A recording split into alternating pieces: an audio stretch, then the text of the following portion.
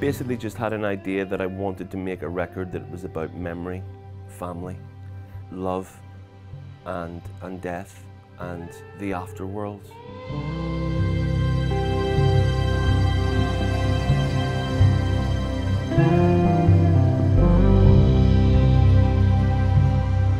My name is David Holmes. I am a DJ, music producer, uh, creator of soundtracks.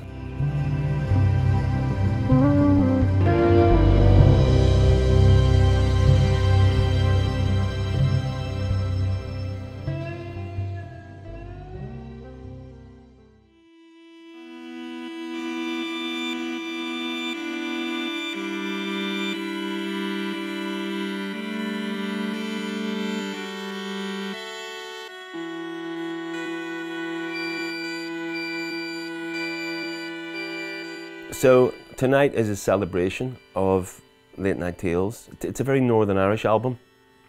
You know, there's a lot of, you know, Stephen Rea, Documenta, Henry McCullough, you know, um, other friends of mine who are very sort of connected to, you know, the trajectory, the story.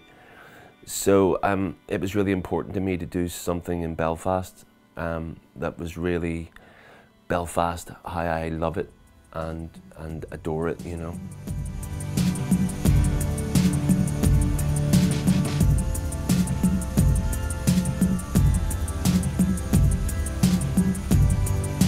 We have BP Fallon, who that was a very that was an extraordinary experience because I just got a phone call out of the blue from BP, and he said he was coming to Northern Ireland to go to the funeral of his dear friend Henry McCullough.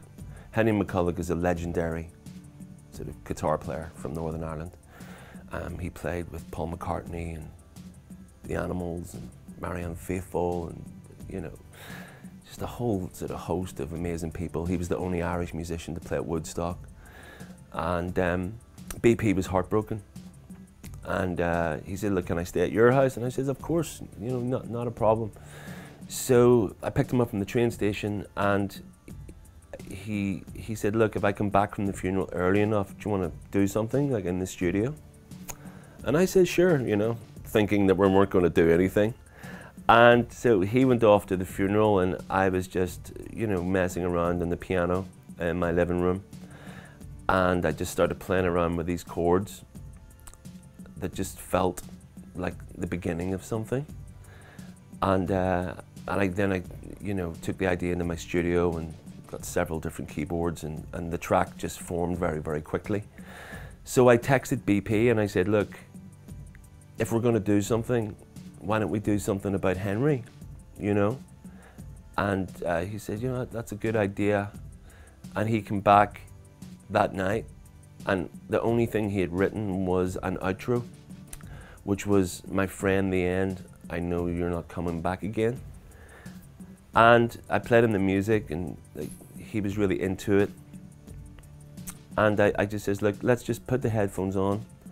You know, we had a cup of tea, had a smoke, and I just put the headphones on, hit record, and he did what you hear on the album in one take and it was extraordinary because uh, what's extraordinary about that track and that moment is that we just we, we, we caught something that could never have happened the day before, the day after, a week later, a month later. We just caught a moment. And uh, it was just beautiful. And it was just uh, BP's memory uh, for detail was just extraordinary. And I, I was actually deeply moved by the whole performance. And when you hear BP you know, as he gets to the end of his performance, you can actually hear him like sort of like, you know, choking up. It was, it was really something. And we both just looked at each other and just went, wow, where did that come from? And then that, that's the track.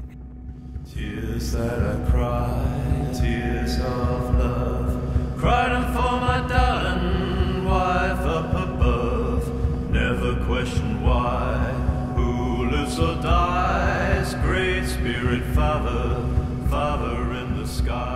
I accidentally discovered Barry Woolnough, great uh, spirit father in the sky, and Alan McLean, talking Judgment Day Blues, because my friend Andrew Weatherall and Nina Walsh have this beautiful label that just puts out limited edition seven inch. And I read somewhere that they were putting like a box set. You could only buy the box set.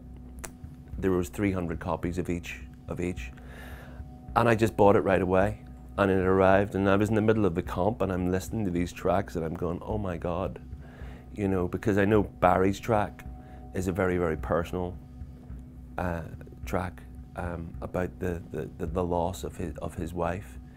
And Alan's track is, is, is just talking about, you know, what could possibly be waiting for us when we die.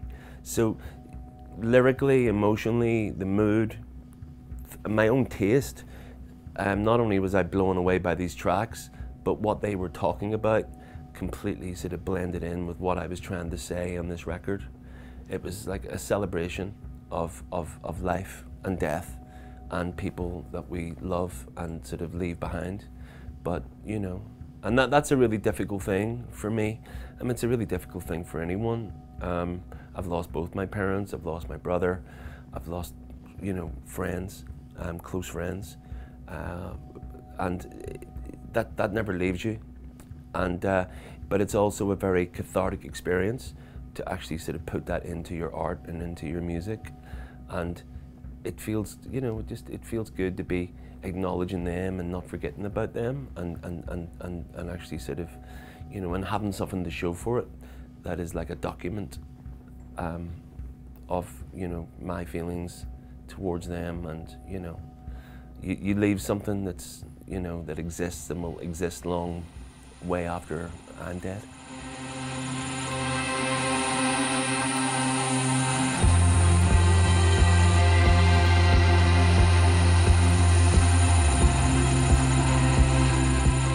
Documenta The Love as a Ghost is a track that I produced for my friend Joe Green and without getting into sort of fine detail I know what that song is about and I know what it means to him and it's just a piece of work that I was really proud of and I've again I, I just felt that it fitted onto the record.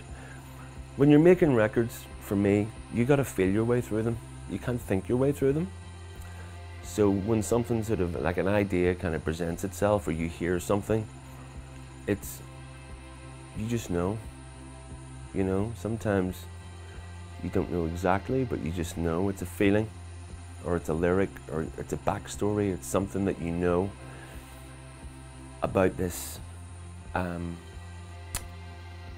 you know, this song, this, this piece of music that makes you feel something. Um, and that's why it's on the, on the record.